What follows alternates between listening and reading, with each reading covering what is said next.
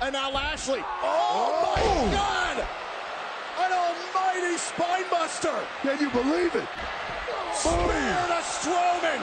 Strowman down. Strowman might be out. Hover. Lashley keeps Strowman out of the title match next week!